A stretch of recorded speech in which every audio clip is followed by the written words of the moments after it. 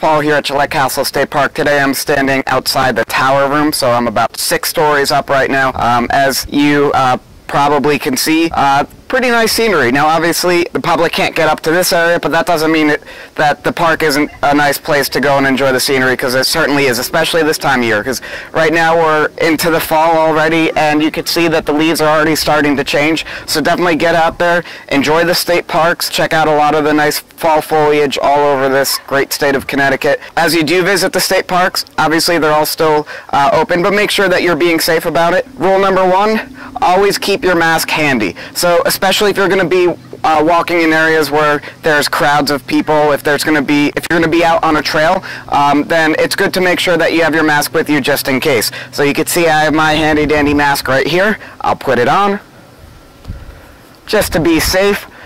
Yes, I do realize the mask is of my face. It is my face mask. It's awesome. Um, anyway, so make sure that you have it with you just in case because as you come across people on the trail, you won't be able to keep a full six feet social distance on every trail, especially the narrow ones.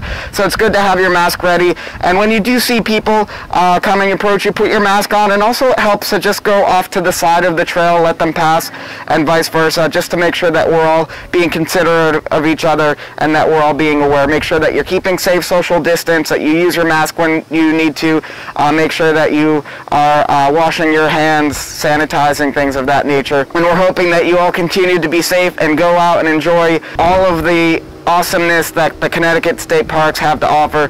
We have 110 parks in the Connecticut State system, um, so that's plenty of chances for you to go and wander our great state and see all the gems that we have hidden here not just here at Gillette Castle State Park, but the other ones. The great thing about Connecticut is that none of the parks are too far away, so it's uh, always nice to do a, a, day trip to be able to go and check out the different things that the state has to offer.